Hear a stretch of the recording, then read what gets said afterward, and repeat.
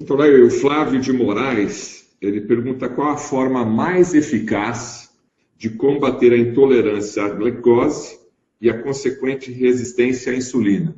Ele é adepto a fazer exercícios de alta intensidade e pergunta se isso seria uma das maneiras de combater essa intolerância. Isso é uma das maneiras, não tenha dúvida. Mas a principal é jejum. Então, quanto mais tempo você ficar sem comer. Então, vamos supor, você jantou 6 horas da tarde. Você só vai tomar café às 10 horas da manhã do dia seguinte. Você ficou 12 mais 4, 16 horas de jejum. Isso chama jejum intermitente. Isso é a melhor coisa que você pode fazer para a sua saúde. É você passar muito tempo sem comer. Eu sei que você conhece uma história aí que manda comer de três em três horas. Isso é balela. Isso é mentira. Os estudos mais recentes estão mostrando exatamente o contrário. Que quanto mais tempo você passar sem comer, que é o chamado jejum intermitente, a sua insulina baixa, a sua glicemia baixa e você começa a queimar gordura você tem muito mais gordura armazenada no corpo do que glicogênio. Nós armazenamos a glicose no nosso corpo na forma de glicogênio. Nós temos em torno de 2 mil calorias de glicogênio armazenado. Nós temos em torno de 40 mil calorias de triglicéridos armazenados. Se eu aprender a queimar gordura, eu tenho muito mais combustível para usar. Só que o corpo desaprendeu de como queimar gordura. Na era paleolítica, eles matavam o animal, olha só, escuta essa. Você matava o animal, tirava as vísceras, a parte gordurosa e deixava a carcaça magra no mato para os outros animais comerem à noite. Ninguém levava a carcaça magra para casa. Levava gordura, levava o coração, levava o fígado, levava os rins. Só comia isso e deixava a carcaça magra lá.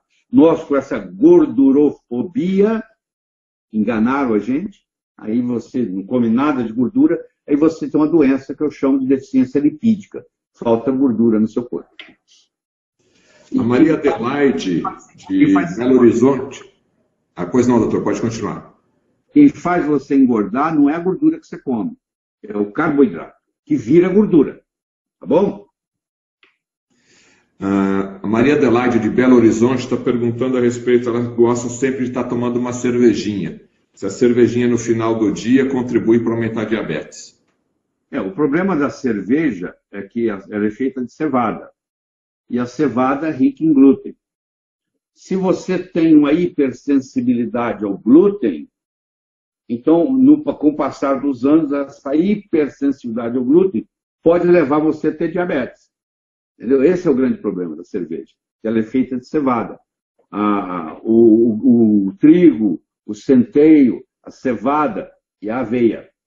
A aveia per se não tem glúten, mas é, se ela for armazenada e manipulada no mesmo galpão onde armazena e manipula o trigo, existe uma contaminação cruzada. Tanto é que você tem que comprar aveia escrita assim, ó, aveia sem glúten. Parece um pleonasmo, porque como sem glúten? A aveia não tem glúten. Ela não tem glúten na natureza, mas quando ela é armazenada no mesmo galpão do trigo, ela pega por contaminação cruzada. Então, a aveia, o centeio, a cevada e o trigo têm glúten. E glúten é um problema muito sério. Inclusive, é um dos causadores do aumento da resistência insulínica e, consequentemente, diabetes. Então, a minha recomendação para você é o seguinte: você tem que fazer um teste para ver se você tem hipersensibilidade ao glúten. Se você não tem hipersensibilidade ao glúten, não tem problema nenhum. Você pode tomar sua cerveja. Se você tem hipersensibilidade ao glúten, eu recomendo que não faça. A próxima pergunta é de Michael, de Michael Marques, de Salvador, Bahia. A meta do tratamento de diabetes é normalizar o açúcar no sangue? Ponto final? Não, não é normalizar o açúcar no sangue. Isso é um erro a minha glicemia está normal. Isso não quer dizer nada. Os cinco estudos que eu citei para vocês aqui, principalmente o ACORD e o, e o, e o, e o VEST, eles mostraram o seguinte, que aqueles pacientes que tinham o açúcar mais controlado no sangue foram os que tiveram mais eventos clínicos, mais infarto, mais acidente vascular cerebral e mais morte. Então, essa ilusão de que você tem, de que se a sua açúcar no sangue estiver controlado, está tudo bem, não é verdade. O foco não é a glicose, não é a glicemia. A glicose no sangue chama glicemia. Não é a glicemia. O foco é a resistência insulínica. Eu quero saber o seguinte: quanto que você tem de insulina em jejum? Essa é a pergunta que vale ouro. É, se você tiver uma insulina menos de 5, eu sei que você vai viver muitos anos com saúde. Se você tem uma insulina de 23, que é o limite superior do laboratório, você é uma pessoa doente. Você pode não manifestar sintoma hoje, mas você por dentro está doente já. Já está doente, mesmo sem sintoma. Bom, é, o, doutor Wilson Maziero trabalha na empresa do governo. Boas doses de magnésio de malato com água ozonizada ajuda a combater e prevenir diabetes? Ajuda. O magnésio, de malato magnésio, magnésio de malato, ele diminui também a resistência insulínica, como faz o ácido alfa-lipóico, como faz a canela. Mas ele, além disso, ele tem outras características importantes a água ozonizada ou ionizada que ele está falando? Ozonizada. Ozônio. O, ozônio, ah, tá. o ozônio ele tem uma propriedade muito interessante na água, porque ele, ele neutraliza as contaminações que tem na água. Então, se você tiver uma água, por exemplo, que tem uma contaminação de micróbios ou de metal pesado, o ozônio vai lá e neutraliza isso. Tá? Tem até vídeos muito interessantes no YouTube mostrando a ação dele. Como você combina essas duas coisas, é muito interessante, sim. Tá bom? Oi, agora sim. Doutora, a próxima pergunta é Marta Soares, é, de Jaú, São Paulo. Por favor, pouco tempo de sono tem relação com glicemia alta? Trabalhar à noite e dormir é, de dia aumenta a glicose? Aumenta sim. Então, deixa eu te falar. Primeiro, privação de sono é uma das causas de diabetes. Então, se você dorme menos de 7 horas por noite, a longo prazo você paga um preço por isso. É rara a pessoa que pode dormir menos de 6, 7 horas sem ter consequência. Então, e sono você não consegue recuperar. Ah, eu vou dormir mal durante a semana e vou recuperar sábado e domingo. Isso não funciona desse jeito. Você aumenta a resistência insulínica. Então é importante você entender isso. Qual é a segunda parte da pergunta? É, Fadi, volta na pergunta ali, Leandro. Dormir pouco ali.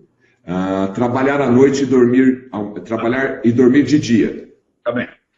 Se você faz isso, sempre prejudica, mas não prejudica muito. O pior é aquele que uma semana trabalha de outra semana trabalha de noite. Esse vai adoecer. Porque o ritmo circadiano, o corpo precisa de um ritmo circadiano. Se eu troquei a noite pelo dia, mas fiz isso sempre, o corpo acostuma. Agora, se uma semana eu durmo em casa, durmo durante o dia, a outra semana eu durmo durante a noite, aí dessa defasagem de ritmo circadiano, essa pessoa vai viver menos e pode ter resistência insulínica e diabetes em consequência disso.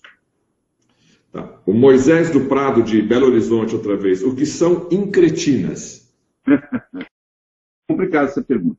Incretinas são substâncias liberadas na parede intestinal. A principal delas é a GLP-1, Glucagon-like peptide, peptídeo. A, a incretina ela aumenta a produção da insulina via amilina, estimula as ilhotas de, de Langerhans a produzir insulina, ela aumenta a saciedade, você perde a fome, e ela diminui o esvaziamento gástrico. Existem remédios novos, ah, diz que é antiético falar o nome do remédio, eu acho que é antiético não falar. Ah, o, por exemplo, o Galvus e o Januvia, que alguns de vocês estão me assistindo tomam, eles são é, análogos da GLP-1. São remédios novos ainda, não sei as consequências que terão, não posso garantir. Oi, eu sou o Plínio. Oi, Plínio. É, eu tô aqui porque disseram que eu tinha que vir pra cá pra controlar minha ansiedade. Imagine, eu, ansioso. Eu só tô um pouco agitado, sabe, assim? O fato é que eu esperei tanto tempo pela minha série favorita e a minha TV simplesmente parou de funcionar. Conheci no meu lugar. Se vocês estivessem esperando a série que vocês mais gostam tanto tempo e de repente a TV não funcionasse. É só descomplicar. Olha aqui, ó. Dá uma olhada no site do Ponto Frio. Uau. Quer dizer que eu posso comprar hoje pelo site e retirar na loja amanhã? Aham. Descomplicou. Tá ansioso também? Descomplica! Com Retira Rápido, você compra hoje no site do Ponto Frio e retira amanhã na loja mais próxima do seu endereço. E aí, bora, pessoal? Ver uma série amanhã em casa? Hã? Remédios novos ainda, não sei as consequências que terão, não posso garantir. Eu acho que um remédio, para você garantir que ele é bom, ele tem que estar pelo menos sete anos no mercado, para ver se não teve problemas porque tem remédio que só começa a dar problema a longo prazo, mas eles são GLP-1s. E eles são usados também, não, eles, desculpa, eles não são análogos do GLP-1. Eles são inibidores da DPP-4. DPP-4 é uma enzima que destrói a incretina. Então, quando eu inibo a DPP-4, eu mantenho a GLP-1. Então, eles atuam desse modo. Existem remédios que são análogos da GLP-1, como é, por exemplo, o Bieta, como é, como é, por exemplo, a Victosa. Esses são produtos que são análogos da GLP-1, dessa incretina que nós estamos conversando. É uma pergunta que está vindo de Londres aqui, Mário Manilha. Além do ácido alfa-lipoico, quais outros suplementos o senhor poderia estar tá ilustrando aqui para combater a glicemia? Bom, nós já falamos do magnésio, que ajuda muito, nós já falamos do canela, que ajuda. o alfa-lipóico hoje ele tem na forma R, também é interessante, porque é mais poderoso e melhor biodisponibilidade. Você tem a benfotiamina, que é a vitamina B1, na forma lipossolúvel, que o alfa-lipóico, a benfotiamina, a B12, ajuda no tratamento das neuropatias. Que o paciente com diabético diabético a longo prazo, principalmente fazendo uso de metformina, ele termina com neuropatia, ou periférica ou vagal. E esses produtos, ah, o alfa-lipóico, o, R-lipóico, a benfotiamina, a, glutationa, o magnésio, ajudam, no, a B12, a B6, ajudam no tratamento dessas neuropatias.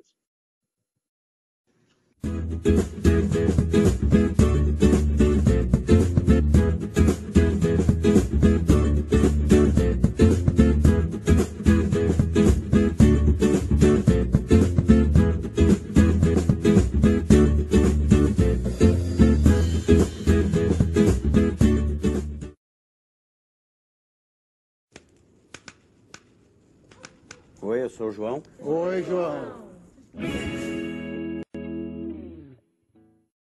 Bom, eu tava duas semanas sem comprar plástico bolha, sabe? Duas semanas tranquilinho. Mas aí, meu smartphone quebrou ontem. Em pedacinhos, sabe? Pedacinhos. O que, que eu vou fazer agora, rapaz? Nem as fotos das férias do Dudu dá pra ver. Nem joguinho dá pra jogar. Sabe aquele joguinho do docinho? Sabe, eu adoro aquele joguinho, não dá pra jogar aquele joguinho. Agora você tem vontade de apertar isso aqui, ó. Descomplica, João. Pra que tanto plástico bolha? Olha aqui, ó.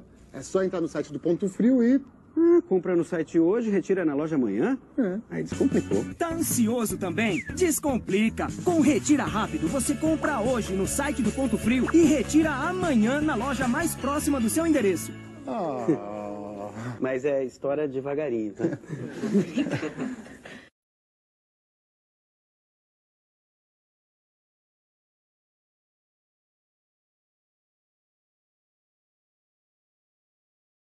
Olá, Sejam muito bem-vindos ao canal Saúde e Bem-Estar. E o nosso tema de hoje é 10 benefícios do jejum intermitente.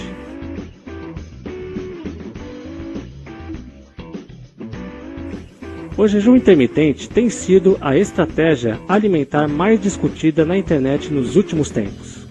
O nome jejum intermitente consiste de duas palavras, e ambas são importantes para entendermos o que ele quer dizer.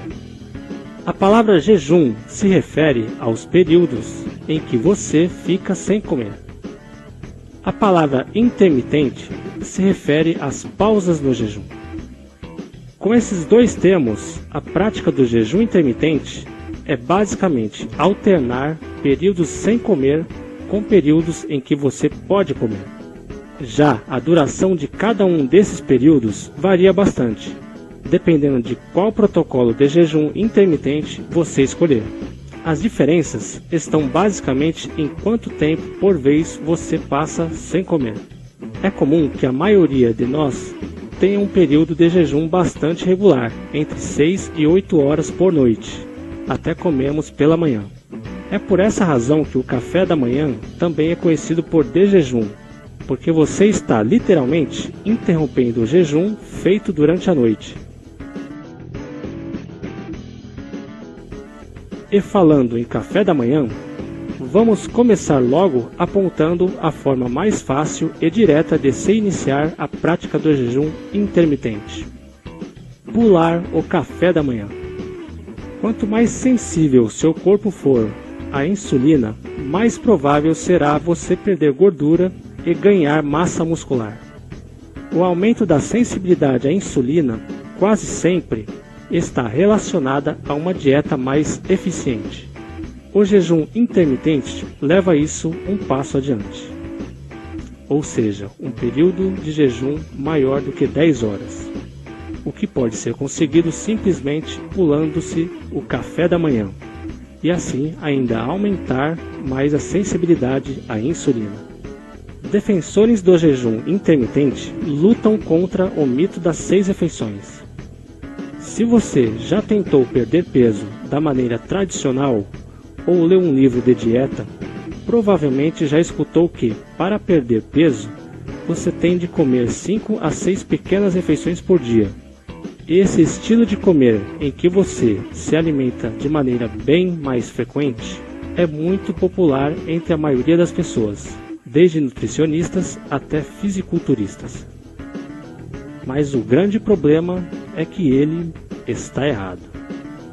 Na verdade, os benefícios de se comer pequenas refeições mais vezes durante o dia nunca foram cientificamente comprovados.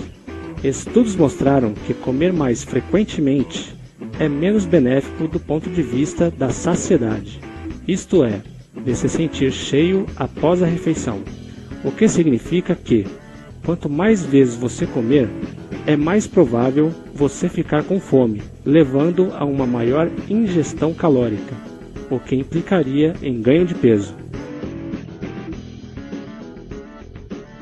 Veja agora os 10 benefícios do jejum intermitente.